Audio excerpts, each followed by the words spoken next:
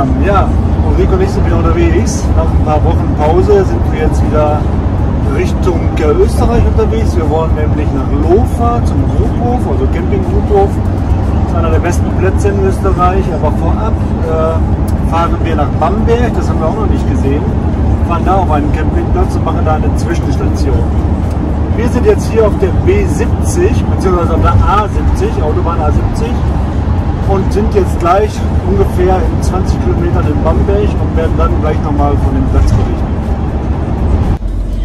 Ja, wir sind jetzt auf der Zufahrt zur Campinginsel Bamberg. Das ist jetzt gleich hier vorne. Und da werden wir uns jetzt an der Anmeldung anmelden.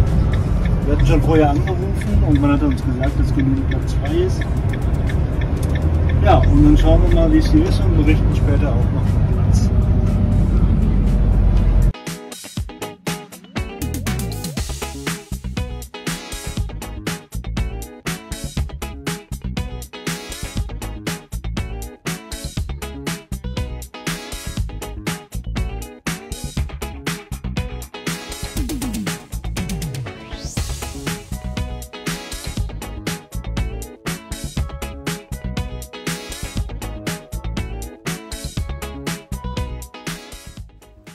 Wir wurden freundlich empfangen und konnten direkt Brötchen für den kommenden Tag bestellen.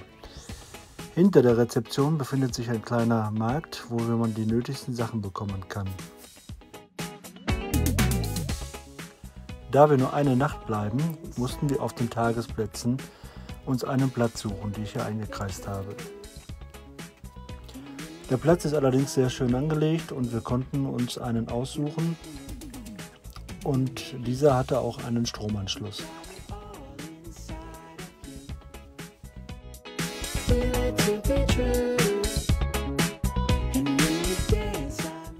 Wir standen ungefähr ein paar Meter von der Pegnitz entfernt, die am Campingplatz vorbeiführt.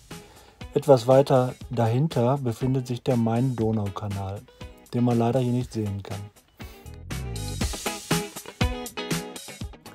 Hier einige Impressionen von dem Platz.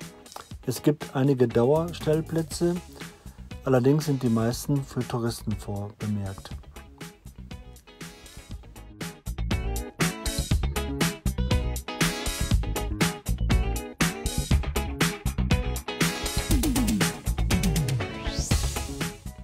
Auf der Campinginsel gibt es zwei Sanitärgebäude.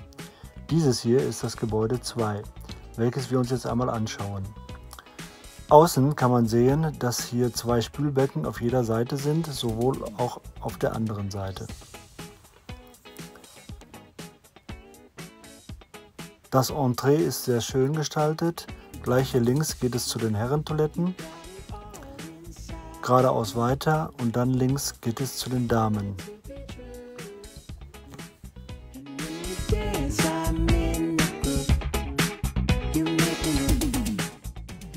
Hier im Herrenbereich gibt es Waschbecken und direkt dahinter die Urinale.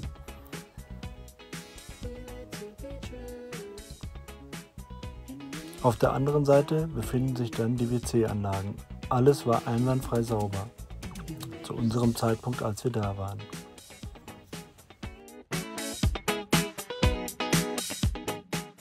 Die Duschen befinden sich auf der anderen Seite der WC-Anlagen. Hier gibt es Waschbecken und natürlich auch Duschen, die sehr großzügig gestaltet sind. Was wir hier sehen können. Alle Duschen haben ein inkludiertes Waschbecken.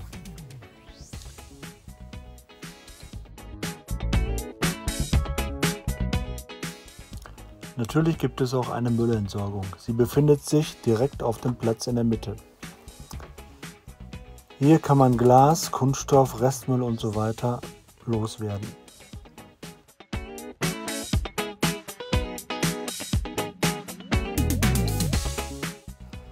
Wir sind dann am Nachmittag mit den Rädern nach Bamberg reingefahren.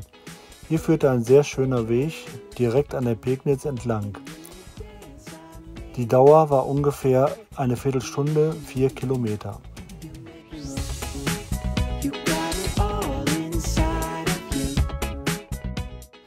In der Bamberger Innenstadt angekommen, haben wir unsere Fahrräder abgestellt. Es war Samstagnachmittag und es war Markttag in der Altstadt.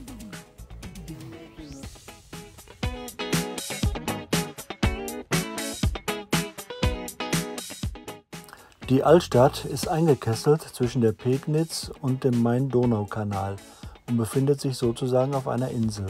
Daher gibt es hier sehr viele Brücken zu sehen.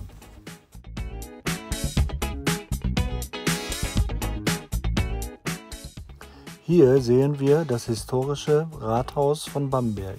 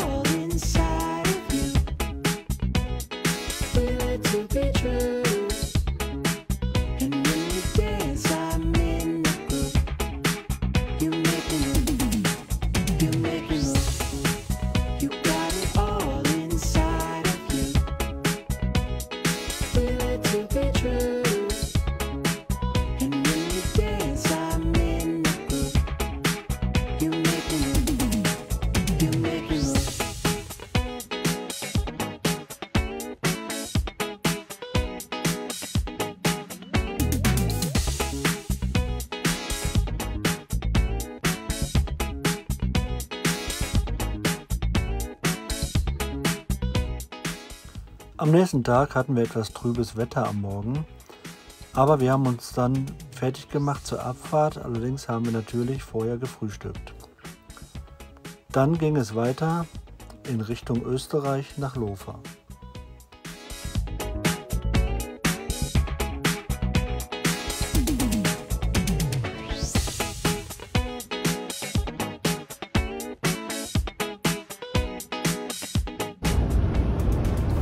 Wir sind jetzt auf dem Weg äh, ins Salzburger Land und haben den Campingplatz Insel in Bamberg verlassen.